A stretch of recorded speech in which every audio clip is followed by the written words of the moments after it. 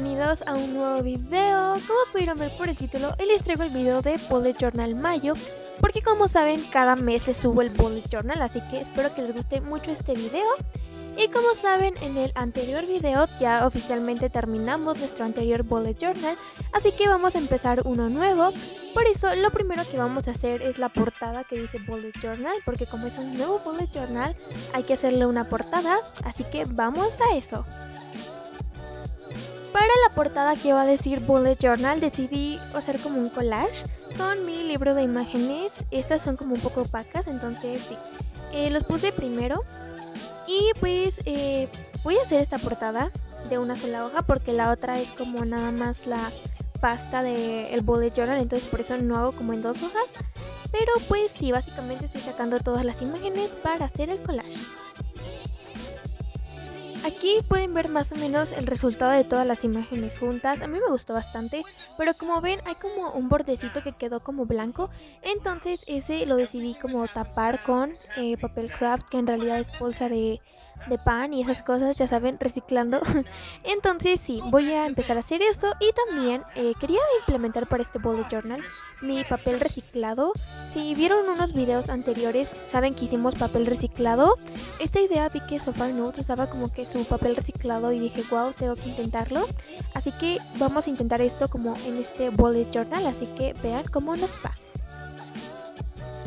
Al final solamente hice mi título, le di algunos detalles con mi Might Liner gris, pluma blanca, pegué el papel reciclado como les dije y así fue como quedó la portada y ahora vamos a pasar oficialmente con el mes de mayo. Para mayo eh, quería usar una temática de flores, plantas, porque les puse una encuesta en mi Instagram y la mayoría me dijo que quería como plantas y esas cosas. Y la gama de color es café, rosita claro eh, un azul un poco fuerte y también verde. Entonces esa es la gama de color que decidí usar para mayo. Porque mayo es como flores, ¿saben? Entonces por eso. Después nada más contorné el título, le puse algunos brillitos, sombras y ya tenemos nuestro título de mayo.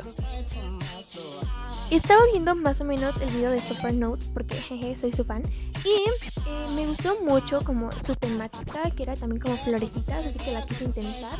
Porque pues aprovechando que ustedes también me habían dicho que querían como plantas, flores y esas cosas. Ok, aquí ustedes están viendo que estoy haciendo la portada como con washi tape, el título en medio, plantitas, pero al final la cambié. Solamente dejé como las plantitas del papel craft que yo había puesto las washi tapes se las quité porque sentía que no iban tanto a los colores. Y eh, nada más empecé a decorar las flores, le hice unas más arriba y así. También hice plantas. Y también las empecé a pintar de los colores. No soy muy fan de pintar con plumones, pero como eran detallitos pequeños, pues no importaba tanto porque los plumones no se iban a maltratar. Y aquí está el resultado. La verdad es que a mí me gustó bastante. Nunca había hecho una portada así. Y pues espero que ustedes también se puedan inspirar para hacer su bullet journal. Lo siguiente que siempre hacemos es el calendario del mes para ubicarnos, escribir fechas importantes, eh, cositas que tengamos que hacer. Yo casi nunca les muestro cómo hago como el cuadro del calendario porque siento que no es tan importante. Pero pues eh, nada más lo decoro, le pongo los números del mes, que este mes son 31 días, así que está largo el mes. y también luego empecé a hacer el título que dice calendario.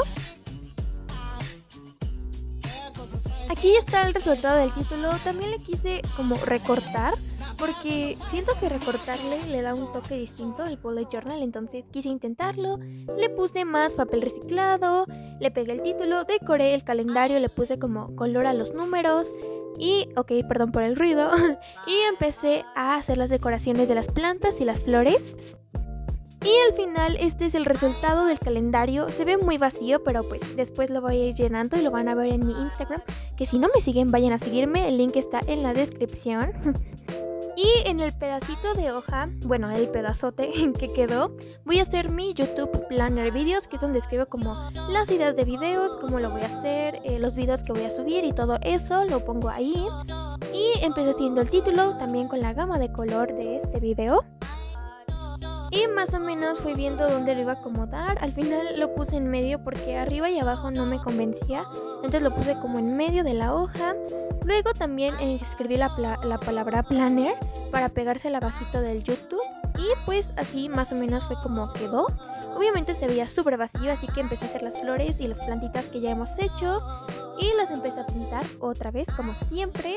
La verdad es que yo no sé cómo dibujar plantas, así que dibujaba como las más básicas del mundo, pero así también le decoré como abajito y arriba con plumón. Y pues así fue como quedó este YouTube Planner. Igual se ve vacío porque eh, pues ya después al final del mes va a estar lleno. Eso también lo pueden ver por mi Instagram, es Laura Notes, ya saben, síganme. O bueno, si quieren, ¿eh? Y ya después empecé a hacer mi habit tracker, que ya saben es donde escribo como mis... Bueno, voy completando si hago mis hábitos todos los días del mes.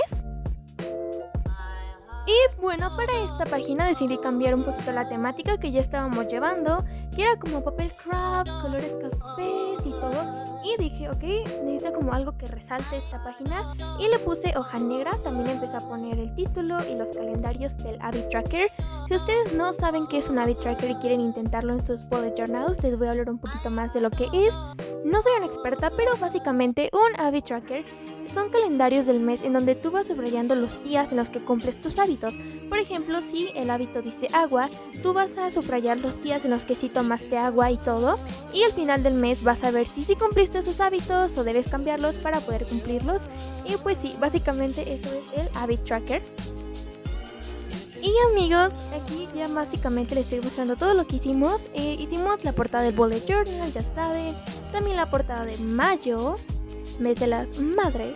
También tenemos el calendario de mayo también con temática de flores, nuestro YouTube Planner Abby Tracker y no les mostré pero hice la primera semana. Y amigos, esto fue todo por el video del día de hoy. Espero que les haya gustado muchísimo. Si es así no olviden darle like, suscribirse, comentar, compartirlo con todo el mundo. También eh, la planta ya tiene nuevo nombre que es Suki, así que bienvenida nuestra Suki. Y también espero que les haya gustado muchísimo el bullet journal, que se inspiren y pues igual recuerden que si ven este video pueden etiquetarme sus historias de Instagram para yo verlo. Y pues nos vemos en el próximo video. Bye.